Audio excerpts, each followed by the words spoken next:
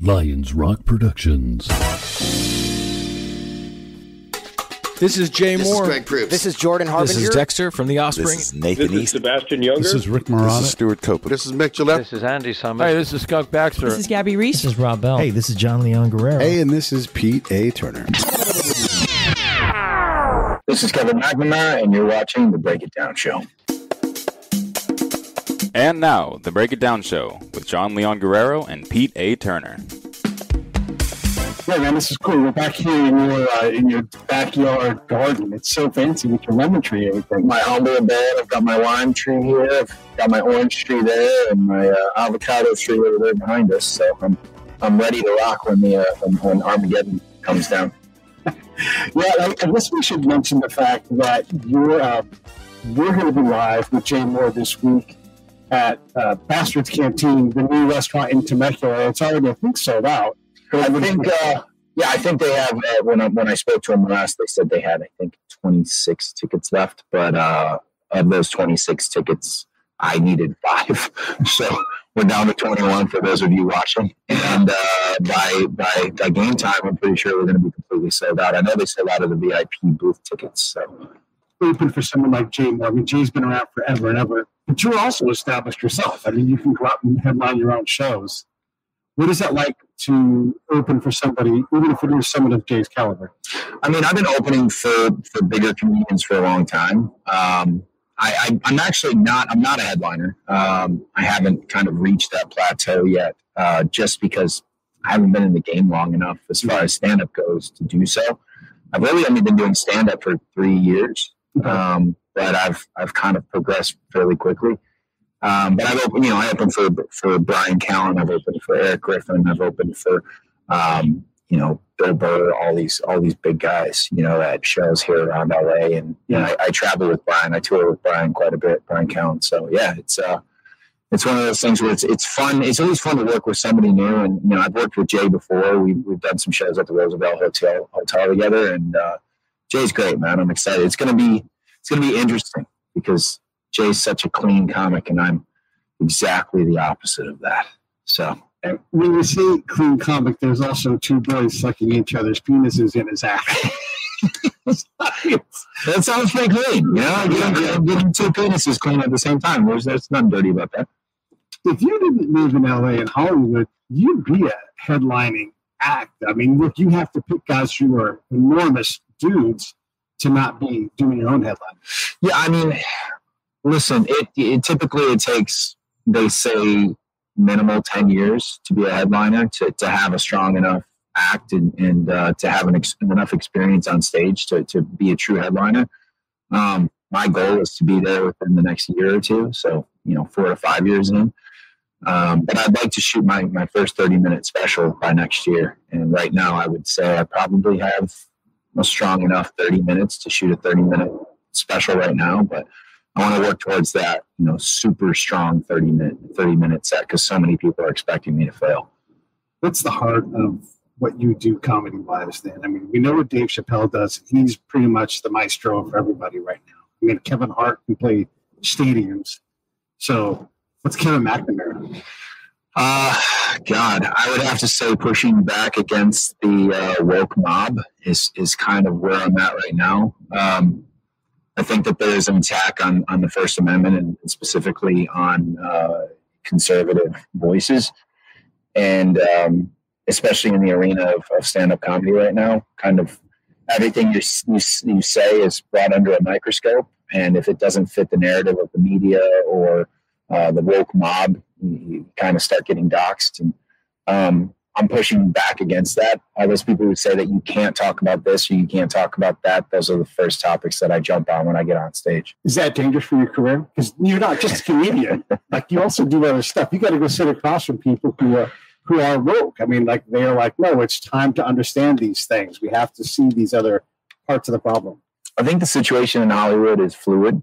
I think currently the climate is very much left wing and, and pushing everything towards um, race, the, the, the, the, racial inequality and, and woke idealism. Um, but like anything else, I think that it, it's, I think it swings back. I think it's, you know, it's, it's a pendulum. I think it swings back. I think right now it's swinging hard left, but I think it's going to swing back to you know the, the moderate side of things, or or hopefully a little bit more conservative. Um, just depending on on who you work with. The show that I'm on uh, currently, or that I've been on currently, uh, is a CBS produced show, and CBS is pretty focused on making sure that they're in in line with the uh, the current climate. Um, but I don't foresee it being an issue because I don't I don't go overtly uh, I don't go overtly right wing. Right. Um, I do have you know talking points that would be considered conservative, and I do have a conservative view. Um, but I don't I I do it with wit. Mm. I, I don't just throw uh, I, I, don't just like to throw jokes out there that are just shock and awe. I like to throw jokes out there that kind of keep you guessing and and, and and take you on twists and turns, and not just throw something out there that, that's going to hurt people or upset yeah. people. I want to make everybody laugh, whether you're left wing, right wing, conservative, uh, yeah. libertarian, whatever it is. Um, yeah, it's important. I think it's important when you're when you're working with those types of topics that they're really well thought out jokes, and that's what I try to do. When we, uh, I mean, these things are challenging, right? So right now, could be. That I've been driving for a little over an hour. That the Kyle Rittenhouse uh, verdict might even be in right now. I don't know. But yeah. as a combat guy, here's how I see this. And, and I don't know enough about the trial. I'm not sitting in the jury box, so I don't have enough specific knowledge. But if you put yourself into a situation where the proper authorities can no longer control law and order and peace, and I'm not talking about a protest, I'm talking about when you get past that.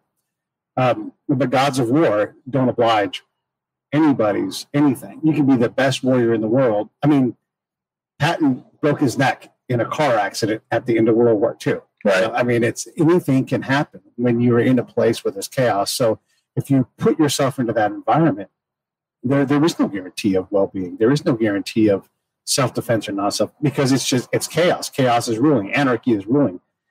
And so I don't see that there's any good outcome. I mean, there's misconduct, it seems like, from the prosecution.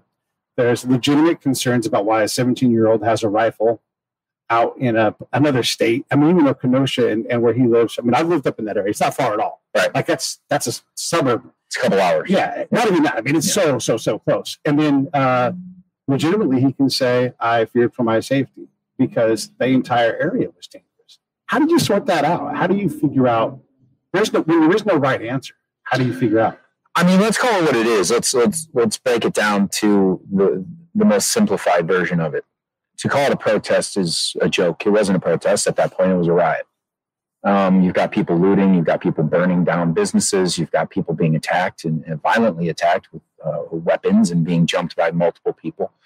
Um, I think the the Kyle Rittenhouse situation is interesting in the fact that I truly believe that he was there to do good. I think he was there to um, to protect uh, businesses and also um, to to administer aid and, and be there to, to help people out that might need it, put out fires and things like that. Um, I think the situation that came from him being there, um, I think they're just bad people that were looking to do bad. And they put themselves in front of somebody who was willing to fight for what they believe in. And I think, regardless of age 17 or 30, right. the calm and cool demeanor that he carried himself with and the way that he handled his weapon and uh, the way that he went out of his way to try and stem the situation by running and they pursued him and they put him in a, a, situation where he had to defend his life. I think if he would have just gone there with without a weapon and tried to administer aid, I think the same situation would have happened. You know, you have like I said, let's call it what it is. You have predators. The you know the the Rosenhaus guy was a, a sexual predator. The other guy was a was also a, a, a violent felon. Right. Um, both of which had weapons. Rosen Rosenberg or Rosenblum had a chain, and the other guy had a handgun. Yeah.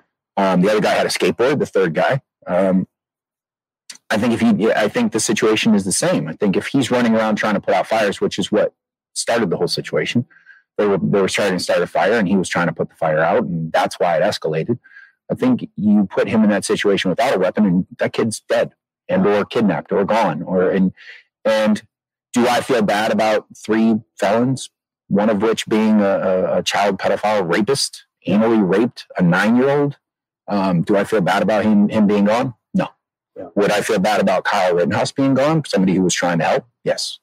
We also don't spend much time talking about the other victims who've lost their complete livelihood, lost their lives, have been maimed uh, through these. And I, when I'm saying riots, we're talking. There's a clear line between a riot and a protest. I think we all support the right to protest, even vigorously protest. But burning someone's business, murdering a man, murdering people in general, um, yeah, I mean, we're not talking about those people who've lost everything, and we are talking about Kyle and a child rapist. It is a, it's a little galling. Yeah. galling. it's a it's a it's a and, and and a situation that really upsets me about this is they're constantly talking about well why was he there why did he need to be there well where were you Yeah. where those who are judging him where were you why weren't you there putting out fires why weren't you there administering aid why weren't you there trying to protect your neighborhood and he wasn't even he was protecting a a neighborhood that he worked in not that he lived in but why weren't you there if you're talking about why was he there at 17 well clearly he had good parents who trained him and raised him and up to to be a, an upstanding citizen. Yeah. And if you want to talk about that narrative, why was he there? Well, why was Rosenblum there? Yeah. He had just been released from a, a mental asylum that day, and the first thing he did was run to a riot. And start threatening people and saying he's going to kill people and using the N word as if he it's willy nilly. Yeah. Why why isn't his choices being questioned? Why why are we in a situation where we're choo- we're, we're choosing to glorify someone's choice who's a, a, a registered sex offender felon Right. who ran to a riot or a 17 year old kid who went to a riot to try and help? Why are we judging him and not the what they're trying to claim as a victim? He's not a victim. That's Yeah. just the way I see it. Well, I mean, he brought a he brought a gun to a riot, and there's another guy that brought a gun and, and chains and weapons, and all of that stuff is bad. I have a basic philosophy on a lot of these things. People that don't want to get shot act like it, and if you are in a riot and you have a weapon, it doesn't matter what that weapon is. That weapon can be a bicycle that you're swinging around like a maniac. I walked up the street in San Francisco, and the dude had a two by four, like he was Hacksaw Jim Duggan. Yeah. and he was marching in front of his his stash. That's a weapon and I had my eyes on him. I adjusted my backpack so I could defend myself against him because he was not someone who was unarmed. Right. You know, and it's a two by four. Throw it in the ground, be like, I don't have a weapon. Right. But for sure, sure as hell, I had to be prepared for that. Nothing happened. Um, but the guy was insane. He was he was collecting. He was guarding his collection of used tampons. Okay. So obviously something's wrong with that person. And when someone comes out of an asylum and runs to the riot, this again goes back to that law and order thing. If the authorities can't or won't um, create law and order, then things like that are going to happen. And it's going to put someone like Kyle Rittenhouse or whoever the next person is in a position of life and death. And we wouldn't be judging him if he was dead. We would just forget that he even existed. So here's the issue: if they had killed him and he didn't have a gun, uh, Mhm. the narrative would be a 17 year old kid was murdered in, in these riots by three white men, one with a skateboard, one with Yeah. a chain, one with a gun. Right. The narrative would, the narrative would be completely different. But because he was on the other side of the ideal, Right. he's a bad guy. If there was a narrative at all. If there was an- There's- there's if there was an- hundreds of people that were murdered during the, the riots of 2020. Yeah. And uh, you know the the issue is is that there's a lot of people that went to these protests with the intention of looting, burning, Mhm. causing destruction, um, and a lot of those people were not there for the the real reason of why they said they were there. And a lot of those people are, just you know they, they, everybody wants to talk about white knights and you know the, the narrative of white knights and, and white people feeling they need to protect people of color and, and, and all of this. Well, why aren't these people that are at these these protests and, and that are causing this damage that happen to be white, why aren't they being considered white knights? Mm. You know, it's it, it if they fall into the idea of the woke mob, then it's okay. But if it's on the other side of the fence, then it's not okay. You know, the the, the, issue is that there's so much division and and there was so much attention paid to um, this narrative of of racial separation over the past four years. Mm. And prior to that, when Obama was in was in office, you never heard about racial division. Mm. You know, you obviously there were situations where you know there were there was uh, police violence and police brutality where it was in the news, but the idea of complete racial separation, racial division, w- w- you didn't hear anything about it. And then four years ago, it, it turns into the most egregious situation in the United States of America. And it's like, where did that come from? Mm. Where did the, was it the media pumping that into everybody, yeah. or was or is it is that really the situation? Because I don't remember that being the case for me, at least It's uh, five years ago. it's crazy. I was watching uh, a clip from Tim Cast IRL. Uh, he had Joe Rogan and a bunch of other guys, and you see what you want about those guys. Joe Rogan has more eyeballs than any single news network, Easily, and when he says Americans don't trust the news, I don't trust the news. I mean, I, I, I've watched, and there's a reason. I've watched the news report on a press briefing, especially during Donald Trump's presidency, and they say something. I'm like, well, let me go watch a press briefing, and I'm like, whoa, that is a completely different reality.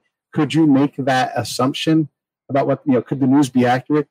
Maybe, but you had to really try hard to make that be the thing.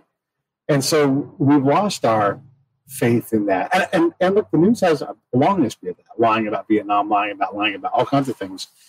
But is it going to get better? I mean, you can create whatever you want now. I mean, you you not only are a comedian, you create all kinds of things. Joe Rogan can almost say whatever whatever he wants because he doesn't need anybody to get a job. now. you know. Right. If you want to hire him, you know what you're hiring, and Yeah. you know his rate. And if he chooses to take that job, he doesn't have to do anything. Are we going to get better because we have more people that can be more? Uh, they're not beholden to, I don't know, a coffee brand or a car brand and, and what they say. I would like to say that that's the case, but I honestly don't think so Okay. because I think the issue is um, you have to grow to be a juggernaut in order for that to happen. And there's very few of those people out there. Yeah. Um, and you're fighting against not only the media, because the, the, the, the issue with the media is that when news became a currency, that's when uh, that that's when journalists um, the news is now a currency. The news is now Right. dollars and you know every view is is is is, is a dollar. So I, I think that the issue with the media is that it depends on what they want to prop up. And the other issue is that you're now you're dealing with big tech.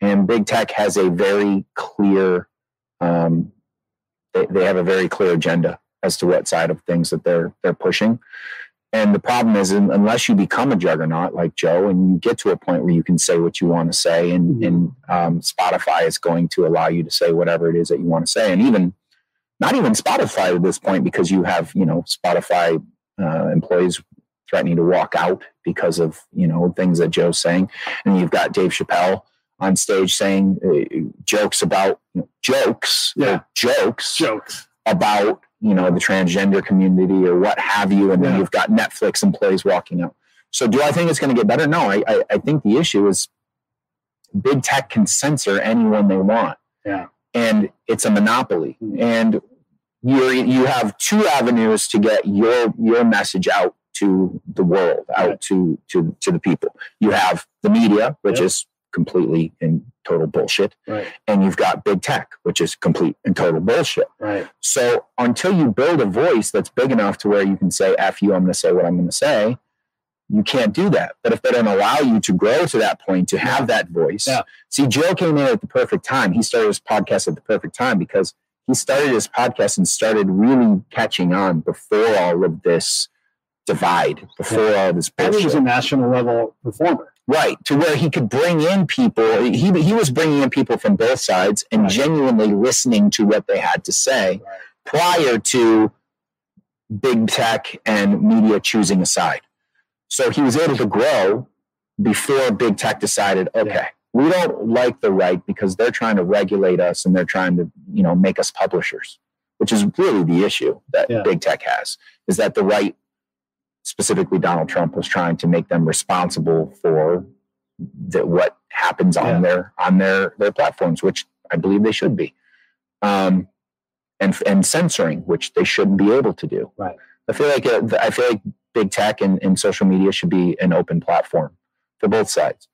You know, If you can, if, if Al Qaeda can be on Twitter, yeah, and the president of the United States can't be, yeah. that's a real issue. Yeah. It's a serious issue. I uh, I personally don't think Donald Trump's good for the country, in part because he just him and his son were just selling Alec Baldwin shot people shirts, you know, and and you can't always choose to divide the country or pick a fight that doesn't need picking. Even if his policy idea was right, he would undermine it by commenting. But that stuff is part of American history because he's the president. If I do it, who cares? Kick me off the platform. But he's the American president. And if you ban him, I mean, his title is still Mr. President, Right. You know, uh, yeah, I've got a problem with that. The other thing that I don't care for as a creator is um, I can't. I'm not allowed to compete fairly compete fairly with my other peer shows.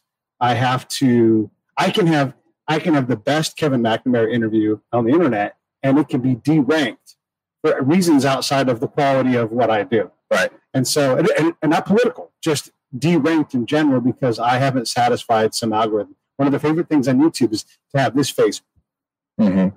on your image, and that that ranks you up. Wow, Right. I'm, that's ridiculous to have a stupid shocked face all the time. I mean, the the, the fact that you're, um, what do they call that? Uh, what do they call the picture? The the The- the, the- the, like a screenshot. Yeah, yeah. what is it? What is it called? It's uh, I forget, but it's got a specific term. Yeah, yeah. But um, they've Instagram, or I'm sorry, not Instagram. YouTube is actually has a video that that breaks down all of the um, algorithms that are used to decide if your screenshot or whatever it's Yeah. called um, will be seen by the most amount of eyes possible, and Right. it breaks it down to like the font that you use, Right. How much of this the actual shot is taken up by the font and actually and the rest of the shot is taken up by the person in the shot the colors you use like everything is broken down so much So that there's no creativity. Everybody's putting the same picture. everybody puts up kind of the same idea with the same font with the same colors just Yeah. a little bit different to Right. differentiate themselves from from the other uh from the other creators i don't know I, to be honest with you you know i don't even have a youtube channel Yeah. i don't have time um, but I do have friends that have YouTube channels. I have a friend who started a YouTube channel, and this, this is a, an, an an exact point of, of kind of the way things work. Um, I have a friend who started a YouTube channel, and the the channel itself is it's just it's skits sketches that are written um, with a specific agenda. That agenda being left Mhm. wing. Um, and they're like little five minute to eight minute i guess you'd call them short tv series like mini series type things where it's like um, uh, racist racist boss refuses to hire a black woman. Uh, or you know racist kid beats up a black art student or you know something like that. Um, and the guy's making $200000 a month off of youtube Crazy. because the numbers that he gets are insane because youtube is pushing all of that to the top of the algorithm because of those specific keywords racist Yeah. you know, racist this, Oh. racist that. Um, you know, black kid uh, gets abused by this, and and it's you know, it's um, it's interesting because he's he's not left wing, Love it. but he's he's playing their game. Playing the game. He's Yeah. playing their game, um, which I respect. I respect anybody who's making two hundred thousand dollars a month, but also you're pumping that same agenda, that same Yeah. message out into the world. That's not called vitriol either. That's No. just called facts or Yeah. something. yeah, yeah. So, you, could I jump on? Could I could I jump on on YouTube and start writing some sketches and Yeah. things about uh, about that and make a lot of money? Yeah, I could. I'm a good writer. Yeah. Could I jump on YouTube and write a bunch of sketches about sketches about right wing conservative conservative ideas? Yeah, won't get nearly the same amount of numbers. Yeah. Um, but that is that is where we are. One of the funny things about YouTube is, uh, well, there's a couple things. Um, one, whenever I fill out the surveys, and I always try to fill the surveys out. I don't know why. Maybe I'm just tilting on a windmill, but I always want to know what I am and what I want to have sex with. And I'm like, I don't know. I'm a creator. You know, uh, why does that stuff matter, right? Like, who cares? I don't care what color you are. I don't care what you have between your legs. I don't care what you bump it. And as long as you're not harming kids or anything, do what you got to do. You know. but um, there's there's that. I mean, it seems that no matter how many times I derank Fox when they offer it, Fox News specifically, they just continue to offer it to me, Yeah, and I'm like, I, I don't want that. I still don't want that. yeah, not going to want that, you know. They but they always put the same kind of things forward, and I, I search for a lot of stuff because of what I do, and then the search will come. Like, it should be confused by me, and so I think it just defaults to Fox because you're an old white guy. We think Fox, Fox, Fox. yeah. Not what I want to hear. It's uh, you know, I don't like being put in a box. Hmm, okay, It's just kind of where I stand. Um, I am who I am. I have the beliefs that I that I have, but that doesn't mean that I just because I believe some of the same things that other you know, other people may believe that that makes me what they are. right, I think people are too quick to start throwing uh, tags on people. You know, if you're conservative, you're a racist. right, If you, um, you know, if you are a Trump supporter, you're a white supremacist. right, If you're a Biden supporter, then you're woke. If you're if you're pro BLM, then you know you're a, a, a white knight or whatever the hell Yeah. it is. Um, I think people, uh, you know, it, the issue that I have is I'm a, I'm a big fan of of looking back at history and seeing, you know, what the, the the real important figures in history have to say about things. And I think, you know, Martin Luther King Jr. said, "Judge me not by my, the color of my skin, but by the content of my character." yeah. What happened to that? what happened? I don't know. You know, it- just because somebody is, Turns out having good character is hard. yeah, That's what happened to it. yeah. I mean, character is, is what you should be judged on. Right. You know, in in in your actions more so than your words. Yeah. You know, if you're if if you're out in a BLM protest and you're you happen to be a white guy, which I was at the BLM protest, I was out there. Um, I was out there with my camera and I was taking shots for for some news organizations while I was out there. Um, and there was multiple situations. At the time, I had a beard, and you know, I was I had a little bit of tactical gear on because Yeah. I was concerned about some things. Um, and I'm out taking shots of of what was going on on both sides, and you know, I got I got punched. Yeah. You know, I got hit by both sides of, of the fence. I got I had a I, I got jumped by a, a few guys that were thinking that I was like a, a white supremacist or whatever. And then the cops whacked me with a baton because I was trying to help up an elderly black man that was on the front line. So I got it from both sides of things. Yeah. Um, but my actions were always I'm trying to get the story Right. of what's really happening. Yeah. I wasn't out there trying to make the cops look good. I wasn't out there trying to make BLM look good. Yeah. I was out there getting shots of reality, what was really happening in the moment. Right. And anybody there, depending on which side you're looking at, if I've got a camera and I'm taking shots, if I'm taking pictures of the BLM side of things, BLM could say, "Oh, he's trying to, he's trying to make us look bad." Yeah. And the cops could say, "Oh, he's trying to make them look good." Right. It's the actions of what you're doing. If you're out there burning things and breaking into buildings and looting and robbing, you're a bad person Right. if you're a cop and you're out there whacking people with batons and you know shooting peaceful people with rubber bullets that are on the front lines doing nothing you're a bad person but if you're on both sides of the fence and you're just there voicing your your your your matter of the things and you're a cop and you're just doing your job and you're standing there with a baton trying to save a building that's burning Yeah. then who's the bad guy in that situation there is no bad guy in that situation it's about your actions it's about the content of your character who you are as a person when you look at the content of character and you try to establish what good character is for Kevin, right? Um, but then also externally, like when someone when you try to assess their character, what what does that look like for you, and what is what do you want to see from somebody else if they have good character? honestly, like, what happened to manners? Mhm. What happened to, um, you know, nowadays, it's interesting to me how things that used to be looked at as something that made you a, a, man, a respectful man, or, or a Mhm. respectful woman, is now looked at as you're you're being condescending. Like if I open a door for a woman, um, it's looked at as, you know, uh, it used to be you're being Yeah. a gentleman. Right.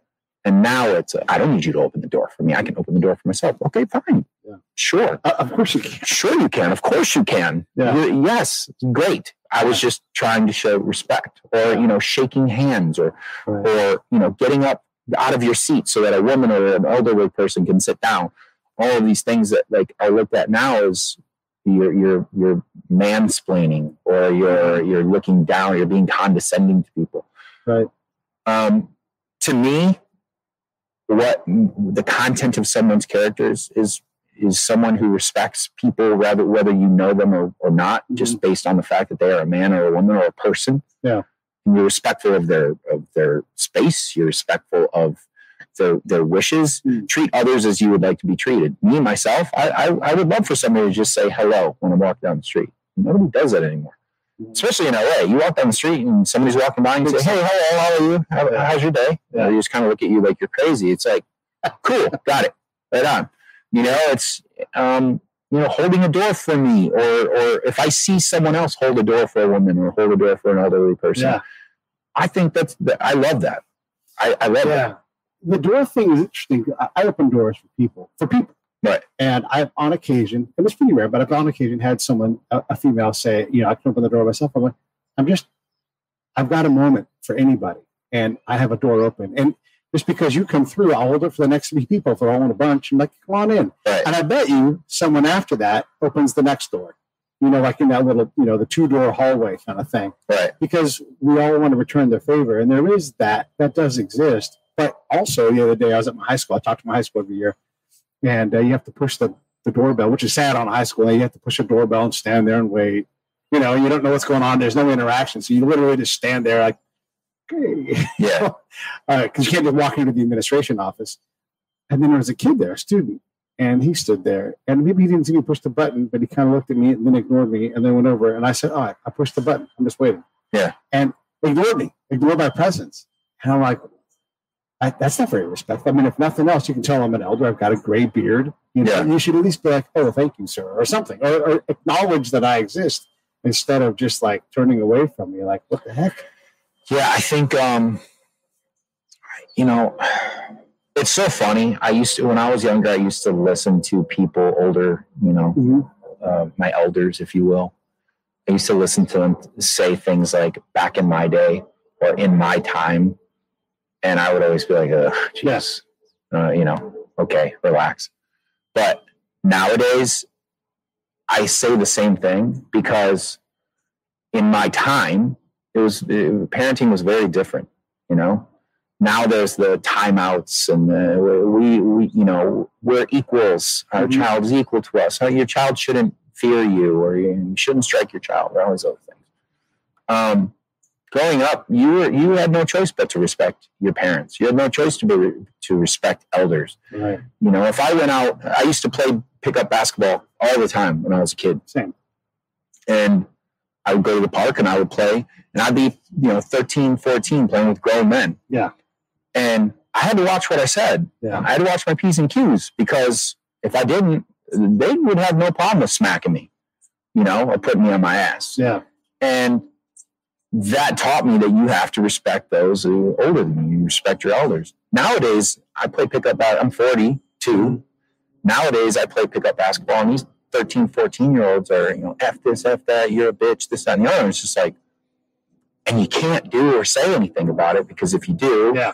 someone's going to call the cops or, the, or you're a bully or you're, you know, you're a child abuser and all these other things Yeah. there, there's no repercussions anymore for for bad behavior and especially in california if you look at things with you know the the, the laws now with you know um, shoplifting as long as it's nine i think it's 900 and something dollars or less That's crazy. That's not sustainable. they don't even they don't even prosecute Yeah. it's not it's a it's not even a misdemeanor it's a you, you get a you get a fine if you get caught well if they don't pursue you to catch you then you don't get caught so you're just stealing willy-nilly and there's no repercussion. So when you have a, a society that's been taught that there's no repercussions for the things that you do of course you, people are the, the, the character of that society starts to dwindle mm. down to the basest character Yeah. possible. And when you've got a media that's constantly been pushing the narrative of you know being dumb is is cool Yeah. being you know being uneducated is cool don't go to school don't get an education Being be a racist. yeah be a be a be a, a, a social media star Yeah. or be a rapper or be this. You know, what happened to the generation of people that that it was it was drilled into your head? Yeah. You need to go out and learn the things that build up society. Yeah. We we need you know we need doctors, we need lawyers, we need uh, uh, rocket you know rocket scientists, we need scientists, we need these people that that continue to build the the you know the society as a, a you know in a better direction. But that's not pushed anymore. It's like everybody's a butterfly. Yeah. everybody's a, a, big, a butterfly, and you and you should you should spread your wings. Do you feel like there's less pickup sports today? I mean, you're in LA, so maybe it's different. But I know in my hometown, there was always a game running. You knew where the courts were. Uh, I don't know. I would say it's probably still about the same. Um, I think, I think there's less people playing. Okay. You know, you've got, you know, kids. When I was a kid, you couldn't stay inside. You weren't allowed to be inside. Right, right, If it was nice outside, get your ass outside, figure Right. something out. Right. You know, if they, you have nothing to do, find something to do. Nowadays, with you know video games and, and Yeah. cell phones and all this stuff, you know, you, you're more likely to see kids sitting at a park on their phone rather than playing basketball or catch or whatever it is. I played a lot of pickup basketball too, pickup football, pickup baseball, whatever it was. And you had to learn how to navigate that reality. Bigger kids playing with smaller kids, sometimes men playing with, you know, and you had to decide like what kind of player you're going to be, how you you call a foul, right? You call your own fouls in pickup basketball. And if you call fouls like you're a bitch, you're going to get called a bitch. Right. And then you're going to have to back up that, or everybody just starts calling you a bitch and you become this bitch and go over there and play like that guy's. And you quickly develop this persona. So you have to have some level of toughness and you have to back up what you say you're going to do. Otherwise, again, like it, you learn to work as a community. And if you go and you play, like I played in a lot of, um, you know, it, I mean, I went to areas where there are black folks and all kinds of different people that I played with. And there's different vibes and everything in the different games. But as long as you were respectful, look, someone might give you a hassle, and you're always on the edge of a fight if you're really in a, a problematic area. Like, you know, we're just everybody, you've been in games where you're like, ooh, everybody's kind of a Yeah. I, mean, I grew up in Detroit. Yeah. Yeah, exactly. Yeah. But you also could navigate that. You didn't just leave. I mean, if it got crazy and someone pulled out a gun, of course you leave then. But there's always kind of like a tension in the right kind of uh, basketball court where like someone might get in a fight with somebody else. Well, I think the I, I think because well, yeah, especially back then because there were repercussions for for the things you did and said. Yeah. You know, and you had to have a toughness about you. You you know, you you you didn't call weak fouls. You just didn't. Especially in Detroit, you call weak fouls. The next game, you don't get picked up. You know, you get looked at. By, you, you know. Yeah. Yeah. Um, you and and there were repercussions for the things you said and did. Nowadays, it's not the same. Like the problem is everything. Everybody wants to nerf the world. Everybody wants to make these kids, you know, um, bullet. They want. They don't want bulletproof kids. They want. Yeah. They want no bullets. Yeah. That doesn't work. Right. Kids are mean. Yeah. Kids are mean. Kids are mean. Yeah. And if you're you're trying to nerf their, everybody gets a participation trophy. Everybody tried real hard. Yeah. Yeah. Yeah. Nobody. There are no scores in t-ball. Right. Everybody, we don't know what the score is. Everybody just plays. Yeah. Okay. Cool. Yeah. Great. But what are you teaching these kids? You're you're when you when you're trying to bulletproof your kid and you're trying to nerf the world. You're not you're not putting your kid in the position to know how to deal with adversity when adversity comes and it's going to come. Yeah. And that's why you have these kids that don't know how to deal with their emotions, don't know how to deal with adversity, don't have any idea what it is to be put in a dangerous situation and how to deal with it. No street smarts whatsoever. Yeah. And they end up in these situations with these kids who have been put in these situations and are tough and they get their asses beat or, you know, they get bullied. And that's Yeah. where you get school shooters from Right. because these kids that don't know how to deal with their emotions, don't know how to defend themselves, and they just want to lash out. There's a lot of smarts in that. I mean, the pickup basketball thing is a great example of that. You could be there. You and I are playing ba- pickup basketball. I'm 50, you're 40, you know, and if we see young bucks kind of getting young bucky, we'll let them run a little bit. But we'll probably also both like calm it the hell down before it gets too out of hand. Yeah. Right? Like, yeah, these guys got to figure it out, you know? Yeah. Uh, and there is a, uh, a hierarchy. But like I remember being a little kid and look, I had a big motor. I just ran around, you know, and I tried to smack the ball and I played a lot of defense, passed a lot. So nobody minded playing with me. But sometimes guys would get upset because I was a big effort guy and then they would start to try to pick on me. And Yeah. because someone else would respect my game, the fact that I passed the ball, the other the other alpha there on the court would be like, you know, leave the white boy alone. Yeah. And then they would leave the white boy alone. But I, but I had to play my game. I had to play hard. I had to stop the best player of the team, and everybody appreciated that. So I found my spot in games where I wasn't the best player, not even close, but I could fit in and do something. That's where I learned how to adapt to an environment that I was foreign to. But I, I, I learned through my actions, and my character of my game. I think I think the issue is if you play uh, in it, so sticking with that idea of Yeah. pickup basketball.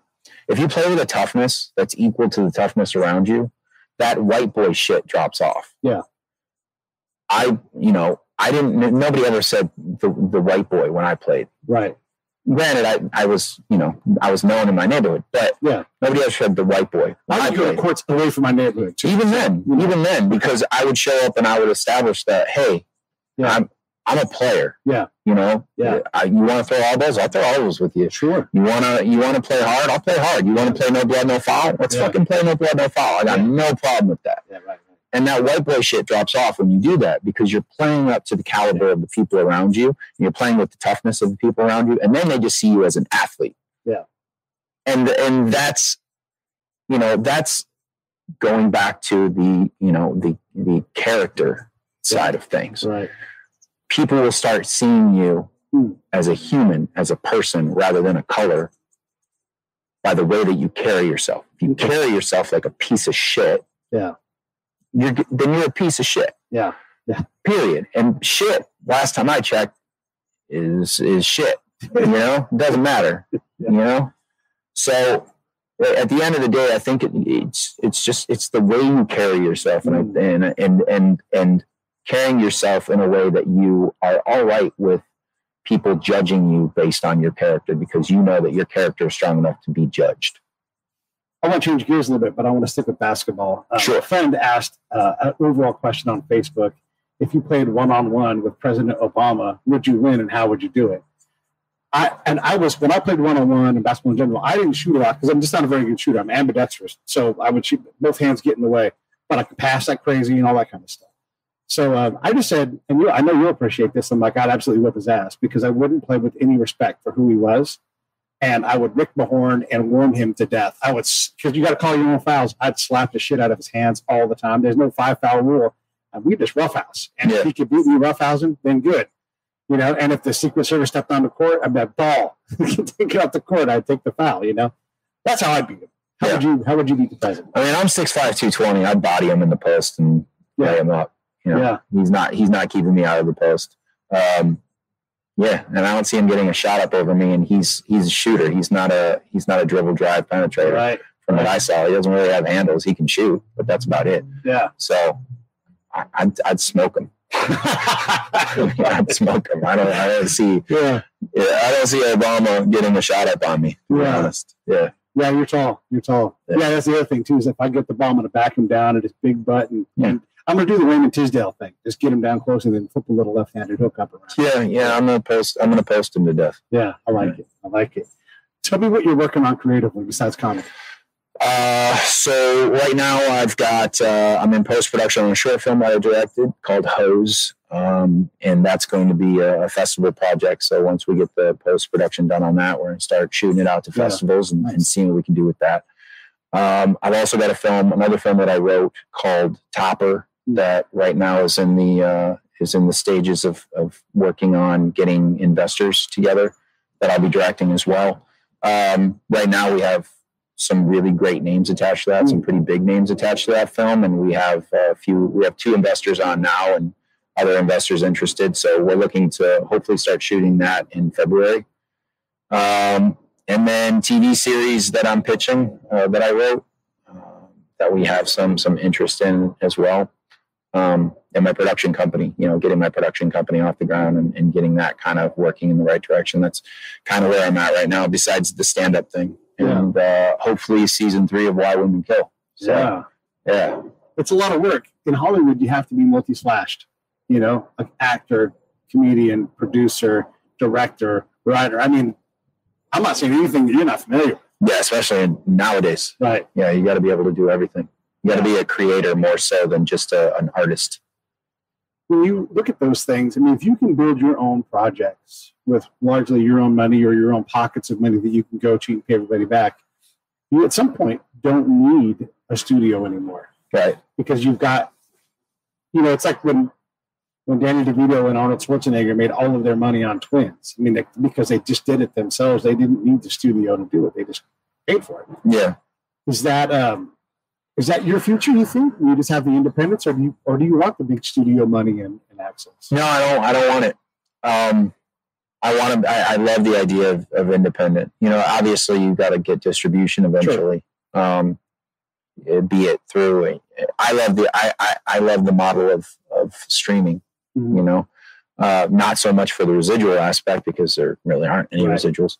Um, but I love the idea that if you can put together a good enough project that you can turn around and pretty much guarantee that you're going to get your budget back plus whatever Right. investors love that obviously because they, they want to make sure their ROI is safe.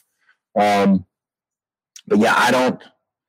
The reason I got into, I really got into writing, directing, producing everything behind the camera is because I got tired of begging for my supper. Yeah. To be honest with you, um, um, I'm sick of going and auditioning for projects that I don't believe in, scripts that are shitty, Right. terribly written scripts. Right. Um, the same old bullshit that Hollywood's been pumping out for years and It's years. the YouTube thing, again, right? The stupid thumbnail that has to always be the same. It's, it's yeah I- I- but more so just the same repetitive story over and over and over you know remakes and reboots and and uh, sequels and you know it, hollywood really doesn't take any chances anymore and the only films that really take chances are independent Yeah. and that's kind of where i want to be Yeah. i prefer to create art and create cinema and not just try to run out there and make guaranteed box office bullshit yeah, yeah. I wanted. I'm just. I'm tired of. Uh, you know. I'm tired of doing. I'm tired of auditioning for things that I don't believe in. Yeah, I'm tired of begging for my supper. I'm just. I'm gonna make my own stuff Yeah. and um and have fun with it and not be told what I who I can hire and what I can talk about and what I can write about and, and um you know have a, a, studio constantly just you know, pumping their narrative into Yeah. what needs to be in my my projects. if anything, there are more studios making a wider array of projects than ever before, or funding them, or whatever they're going to do. I mean, BYU has a TV channel, and they fund their own projects, and you don't have to be super Mormon guy to do that. You can just be like, I have a project that's family friendly, and they're like, Yeah, it's good.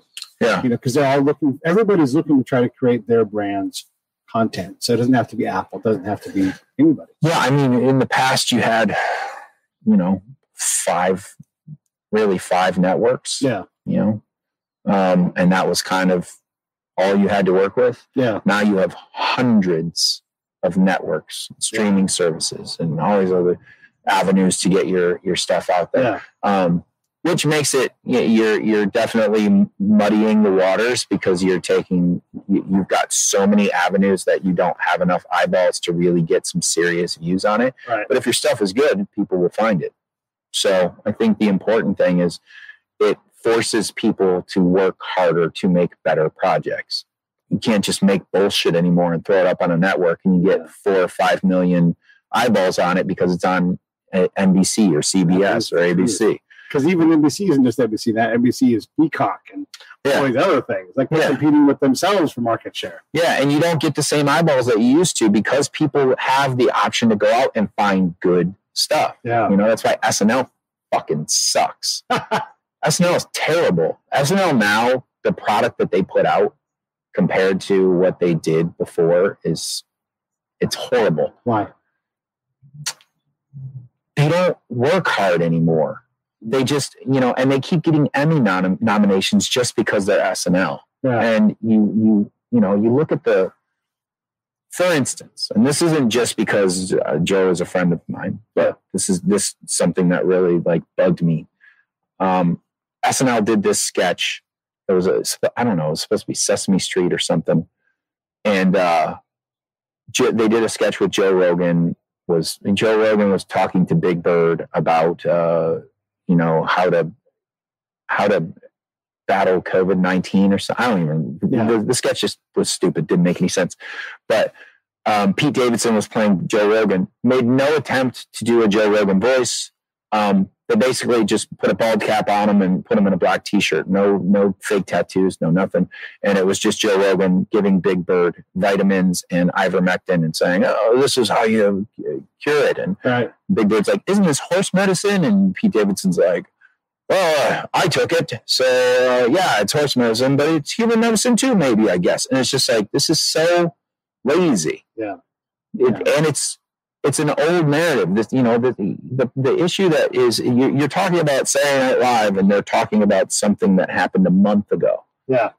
It's like you guys have writers that write 24 7 seven days a week And you have pitch pitch meetings you pitch meetings like and you you're putting an actor you- you're, you're putting pete davidson to play joe rogan pete davidson is tall wiry and skinny joe rogan Yeah. is short and stout right. he's not making any effort to even do an impression he's speaking with his own voice yeah, that is lazy. it's so lazy and big bird is five foot seven Yeah. you know and it's just like there, there's no effort put forth hmm. there's no it- it's such a clear narrative of what SNL SNL is so pushing that woke agenda that they won't touch the other things that might be funny Right.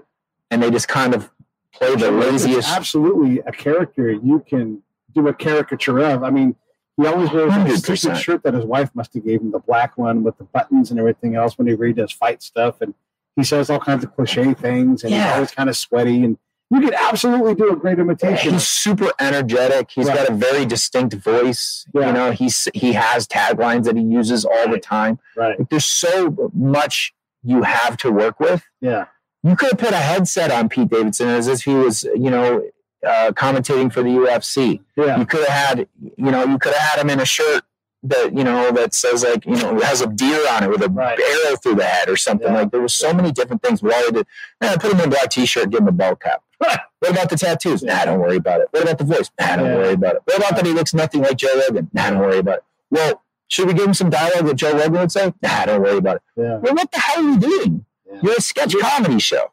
You're, Are there- it's ridiculous. Are there any characters coming? Because I, I think about like we just lost Norm Macdonald, and I mean his Burt Reynolds was hilarious. Amazing. I mean, so good, right? And and he, you knew he was doing a caricature of a caricature of a character. Yeah. but it was absolutely on money. You know, he did that great. And the guy that did uh, Sean Connery, I can't remember his name right now, fantastic. You know, and it was super entertaining. I could watch that bit over and over again. But I can't think of any real skits right now. And I, I try to watch SNL, but I fast forward through a lot of it. It's terrible. It's, just like let's just make political jokes from one side of the spectrum, and I'm like, not funny, not funny, and it's lazy. It's lazy, right? I don't mind. Dave Chappelle makes fun of everybody. I don't mind listening to whatever I believe in being made fun of. And I'm a middle of the road guy, so you can make fun of me by just making me non-committal. And can you imagine the middle of the road uh, ch- uh, uh, protest? You'd be like, "Can't we all get along?" Can't Yeah. Like like, "Hey, holding up a sign that there's, it's like a, he's holding a sign with an arrow on it that says what he says. Yeah, And he's just yeah. standing next to another guy with a sign. Yeah. Like, you know, there's so many jokes that pe- could be made. And it, what's crazy to me, and this is what really shows the laziness of the show now, is um, all they do now is read off the cue cards. Mm, I don't remember in the 80s and 90s ever seeing any Chevy Chase or, or well, you know, guys were all Will Ferrell, any of them. I never saw any of them reading off a cue card and, and, and reading straight to camera, right. you know? Now, every skit, every sketch you watch on, on Saturday Night Live, they're clearly reading off a cue card. Yeah, It's like, you can't memorize these lines. You can't memorize a three minute sketch right. In a week. You have a week Yeah, to memorize a three minute sketch. these guys were all Second City guys before. I mean, there's a whole bunch of that that improv thing, and also, I, and again, I don't see this very often, but someone is so funny that they're all trying to keep it together, which is hilarious when you watch that. My gardeners are here. Oh yeah, They're we'll, we'll wrap this thing up. They're gonna start with. They're gonna start with the uh, the whip. The the uh, heater actor. Everybody is doing a good job on SNL right now. I mean, if you want to talk about impressions, Jay Pharoah is incredible. Okay, Um, he's he's one of the best impressionists. Um, but they don't use him in the capacity that they should use him. They really only use him for um, weekend update. right. Um, God, is there anybody that I can think of that's truly talented on the show? Uh, I mean, there's so many names in the past: Fallon, Murphy, Murray. I mean, there's so many real like these guys left because they had to leave because it, was too small of a cage for them. Yeah. I, don't mean, I don't. right. I can't think of a name. You know, the last real star I can think of from SNL would be Will Ferrell. Hmm. Um, you know, Chris Redd is really funny, but he's more of, he's funnier as a stand-up than he is on the Mhm. show, and they don't use him very much. Um, yeah, I can't think of anybody really. Jay, Jay Pharoah is is an incredible. He, he does incredible impressions, but they don't use him in the way that they should. Other than that, just not No. right now. um, God, what's his name? Uh, what's the guy who's in that sh- the the um, the show where he plays a coach, a soccer coach? Ted Lasso. Ted Lasso. Yeah, what's that guy's name? I don't I know. forget his name. Yeah. He was he was great. He was good. Um, but since him, I can't remember anybody really. Can't really think of anybody. They do go through uh, eras, right? Yeah. And, and maybe the pendulum swung too far to left. All right. What do you think in closing before I wrap this thing? Uh, shit, it's gonna sound cliche, but you know, let's just come together. All right. I think that I don't think there's anything wrong with that with with having different opinions. Um, whatever happened to communication? Whatever happened to just talking and hashing things out? Um, I think it's okay to to be devout to your beliefs. I think it's okay to to be um, to have a, a really strong belief system in the things that you really believe in. Mm. But I also think it's very important to understand that other people have different beliefs, and that's okay. Yeah. I think it's okay to, to disagree. I think it's healthy to disagree. I think if everybody just agreed on everything, the world would be a super fucking boring place and nothing would really get done. Yeah. So I think you need outsiders. I think you need people that think on the edge of society. I think you need people that have different opinions. I think that's where art comes from and and uh, and beauty, and and that's where um, amazing things like podcasts come from Yeah. as as much as everybody uh, talks poorly about podcasts and, there's a billion podcasts and all these other things, it gives you an opportunity to put two people in a room that may have a different opinion Yeah.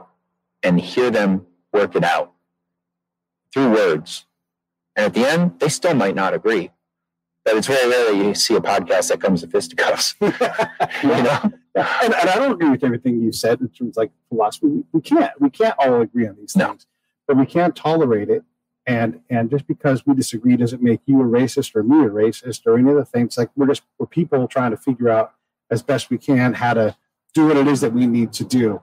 And uh, I, I got this um thing the other day. They're like, here's an opportunity for you because you're a veteran. Blah blah blah. Fill out this thing. And it's like, which cause do you care about? And this this cause sheet had nothing to do with what they were asking me to do. And every cause in there was like, well, you're assuming that any of these things is important to me. Like my survival was the most important thing to me. Yeah. You know, I'm trying not to, you know, my brother just died last month. I'm dealing with all of that. You know, but you think I care about all these other social issues? Come on. I mean, I- Yeah. it's, I don't. And, and so I added new, I fixed it for him. I put new boxes. My box was, I care about being left the fuck alone.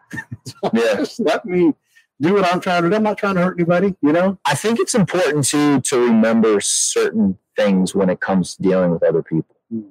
I think it's important to realize that that there's certain aspects of people that are just human nature. Yeah. Humans are tribal by nature. That's right. Just is the way it is. Yeah. Always has been. You know, um, people want to take the animal aspect out of humans. And when you do that, you expect humans to be this, uh, you know, um, all knowing, all seeing, all, all feeling creature. Right. And that's not what we are. We're flawed. We're um, we're tribal. We're we're we have feelings and emotions. Mm. We have moods, and they they change. Humans are fluid. One thing that we might not know tomorrow, we might know the next day, and one thing we believe today, we might not believe tomorrow. We we're constantly being bombarded with information, and that information changes a human being from day to day.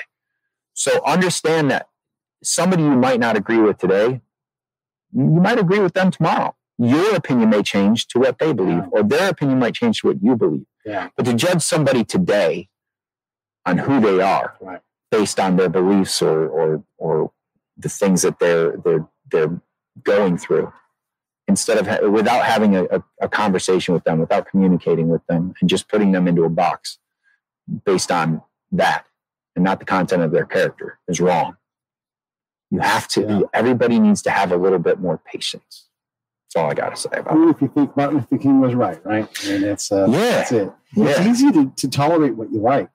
The trick is tolerating things that you don't agree with. You don't have to approve of something that's bad, but you do have to accept that that person is in that spot because of where they came from. You came from Detroit. I came from California. We have different realities, and when we have to move them together, I have to allow you to be the dude that you are, and in some way, you have to allow me to be the dude that I am, and then we figure out where we work out in between. I think That's the issue. I, I think. I think a very important thing is to understand that you are flawed. Have a have a real understanding of yourself. Have a real conversation with yourself. Yeah. And when you can come to terms with the fact with the fact that you yourself are flawed, then you can come to terms with the fact that others are flawed, and that's okay. It's okay to be flawed. I'm not perfect. Not nearly perfect. I'm a complete moron. But I know that everybody around me is a complete moron too. So I can't judge somebody for being what I am. I'm just patient. I just try to be more patient. That's all I can do.